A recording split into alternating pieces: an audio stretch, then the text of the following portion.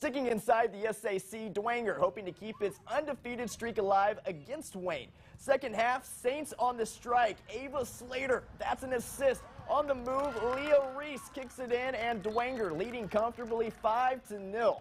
Oh, yeah, that's a Kodak moment right there. Still in the second half, Slater's tired of sharing. She wants her own Kodak moment. From the assist by Callie Burns, Slater goes crossbody and into the back of the net. Saints move to 6 0, and oh, Dwenger wins 6 0.